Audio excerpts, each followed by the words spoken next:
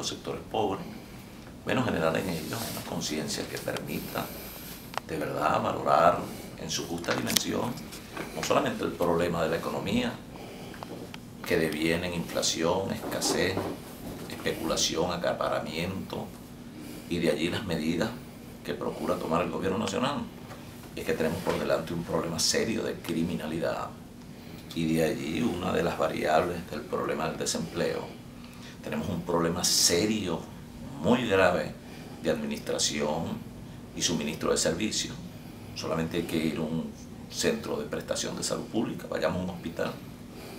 El problema del servicio de energía eléctrica, ustedes mismos acá en el Zulia padecen de una situación crítica que no es distinta a la que se padece en otras actividades del país, el problema del agua, que un Estado responsable debió visualizar y planificar a los fines bueno, de ir ajustando e ir em, adecuando todo el sistema de servicios al crecimiento poblacional de del Estado.